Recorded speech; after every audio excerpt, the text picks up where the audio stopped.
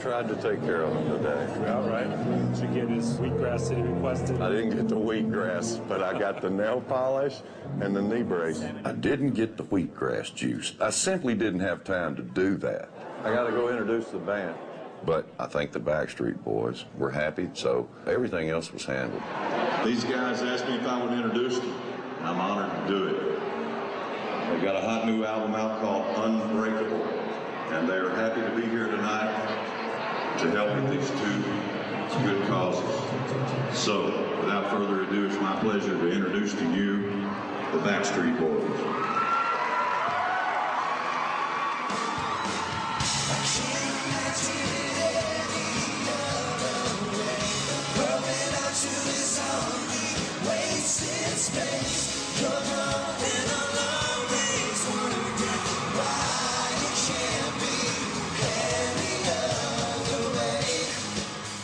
Once the band started, did their thing, I was like the weight of the world had been lifted off my shoulders.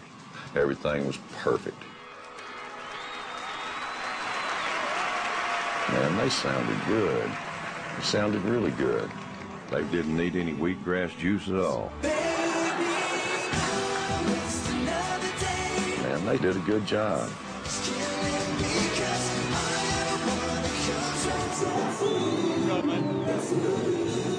I'm very proud of my performance, the team's performance, and Trace and his team. You know, we're all tired, we're all stressed out. We've all reached the end, really, with this process. However, I'll have nothing but fond memories of them, and I think I've made some friends for life.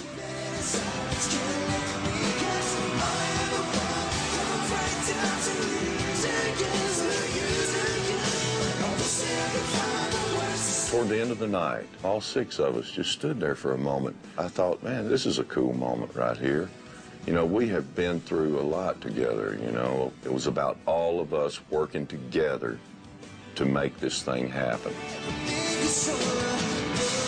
That picture spoke a thousand words. Thank you guys. God bless you all for coming out tonight.